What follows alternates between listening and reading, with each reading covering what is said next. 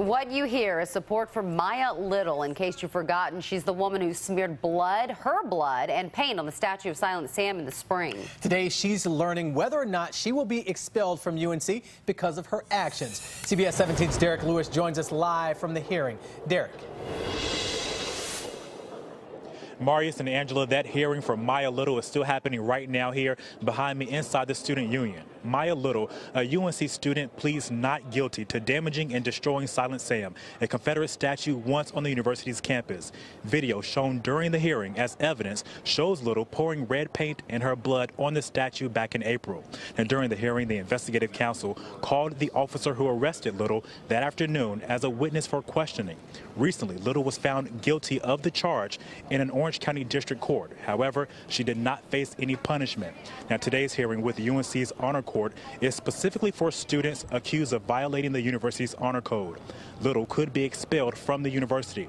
Little's defense is focusing on Little changing the context of the Confederate statue on campus. The investigative counsel explains today that there is much sensitivity around the statue. They understand that, but wants the court to focus on Little's actions.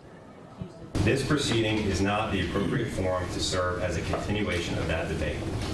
We are here today simply to determine whether there is a violation of the Honor Code as laid out in the instrument of student judicial governance. When you paint a wall in your home, you've not damaged the wall.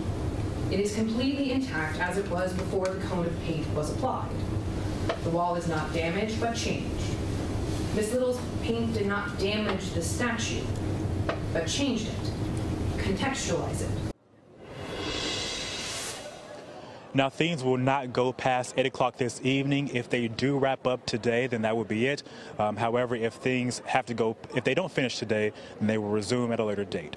Live at UNC Chapel Hill, I'm Derek Lewis, CBS 17 News. Derek, thank you. And whether or not Silent Sam will return to McCorkle Place remains a mystery tonight, but we should know more three weeks from today. Shortly after the statue got toppled, the Board of Trustees began developing a plan to preserve the statue.